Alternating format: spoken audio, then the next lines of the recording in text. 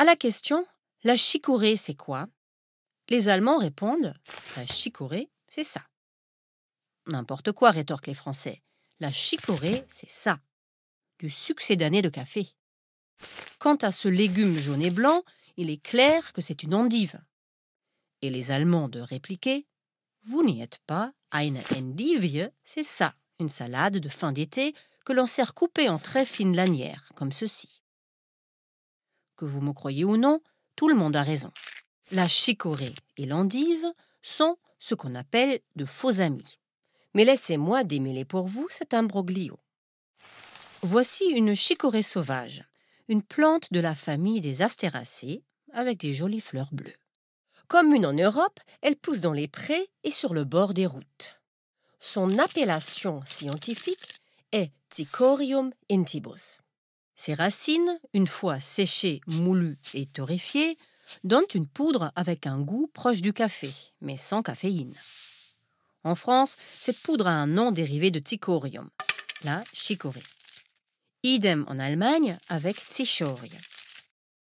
La chicorée entre dans la composition du au café, un succédané de café allemand, et dans celle du ricoré français. En 1806, Napoléon veut faire plier l'Angleterre au moyen d'un blocus commercial, le fameux blocus continental. Résultat, des marchandises issues des colonies anglaises, comme le café, commencent à manquer en Europe. Un peu partout, dans le nord de la France, aux Pays-Bas, en Allemagne et en Belgique, on se met à cultiver de grandes quantités de Ticorium intibus pour fabriquer du succédané de café. Et un beau jour, un Belge fait une étonnante découverte. Les racines de chicorée sauvage qu'il a entreposées dans sa cave et recouvertes de terre bourgeonnent dans le noir et donnent de grosses pousses blanches. Il goûte à cet étrange légume et le trouve très bon, malgré une petite note d'amertume.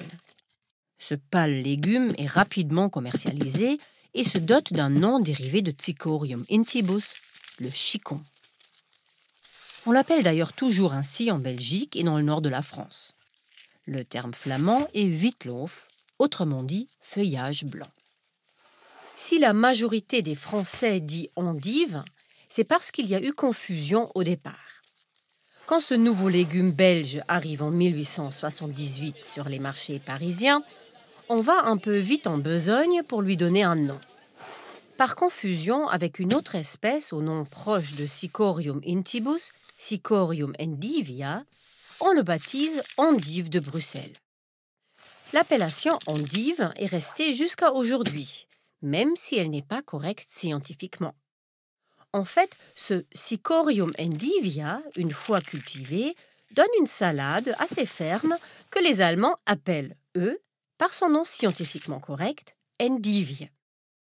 Pour désigner cette salade, à feuilles lisses ou frisées, les Français parlent de chicorée scarole et de chicorée frisée, ou tout simplement scarole et frisée.